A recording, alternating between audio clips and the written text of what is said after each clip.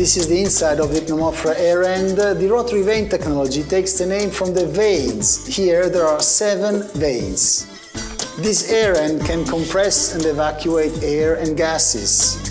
The weight of the air end is 600 kilos. The length is 1200 millimeters. In compression, it goes from 2.5 to 10 bar G. The connected electrical motor can be as big as 350 kilowatt. In vacuum, the residual pressure is 0.5 millibar absolute. The internal lubrication system and the machining differ depending if it's vacuum or compression. The vanes are made of aluminum alloy for light mass. The vanes are not a consumable part.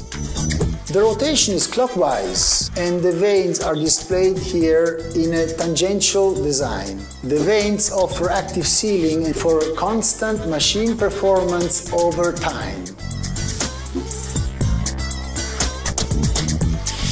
One housing has two bearings. The bearings are calculated for 120,000 hours of operation.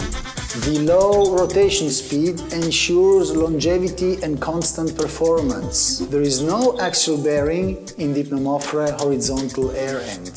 Simple geometry, sturdy design for ease of repair.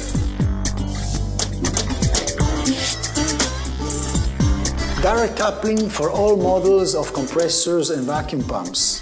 The direct coupling allows to avoid power losses caused by gearboxes and belt drives. The variable speed operation allows the variation from 35 to 65 Hz depending on the model.